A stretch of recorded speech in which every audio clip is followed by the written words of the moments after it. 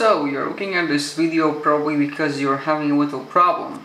And the problem is uh, this small thing here 31k bad parameter. So it is really a bad thing because it affects uh, 4k and 4k 64 speeds both read and write as you can see I got only 214 score on this thing and the write speeds are only about 10 megabytes per second, read speeds are you know 20 and 77. So there is a small solution to this uh, and the solution is very simple. You'll need to download the Paragon alignment tool. 2.0, 3.0, I think it really doesn't matter, but I personally used 3.0. So all you have to do is just open it up and basically it will tell you all the details uh, you know just uh, with warning things and to be aware of things just click next. It analyzes the hardware. So it offers you some alignment options here to prevent the accidental data loss and file system integrity check policy and stuff. So choose whatever thing is best for you then click next. And basically it will show you the hard drives which are, are already aligned or not. So the reason why you've been getting an error there is because your partition was not aligned. So what you have to do is just align it basically by using this small tool alignment tool from Paragon. So it shows you that uh, my Western Digital is not aligned and it shows that my SSD has been aligned already. Well, I already done a process and it was successful and I saw the major difference. So basically you just uh, click this thing here.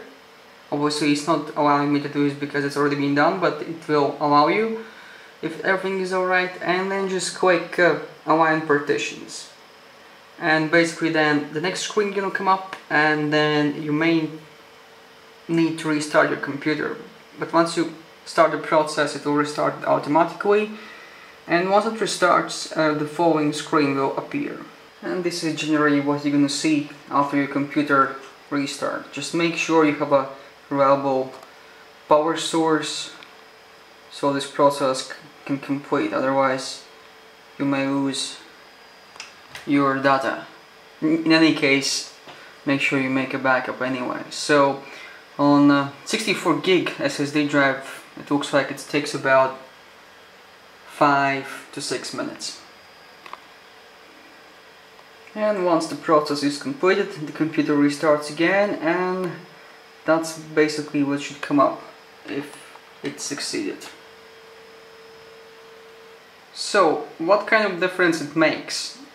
Well, actually 4K and 4K 64, that's where the major difference will be. As you can see with this error, without them, SSD alignment uh, you can see the read and write speeds are pretty low and the actual score is only 214 I'm also using the old uh, SATA 2 interface on my motherboard so and I'm probably using the old SATA 1 cable. That's why I'm not actually getting the 250s, 270s that I'm supposed to get. But anyway the thing is all about this thing here so you can see very low figures here.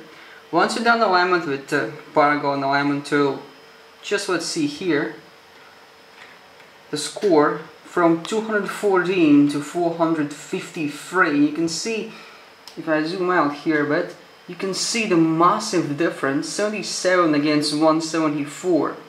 No difference here with read speeds, and write speeds, almost 10 against 40 and almost 10 against almost 70 so and you can see here the error has disappeared it shows 2048k okay. So that's pretty much it. Uh, the whole process takes about 10 minutes on 64 gigabyte Crucial hard drive SSD hard drive. So obviously on different drives it will vary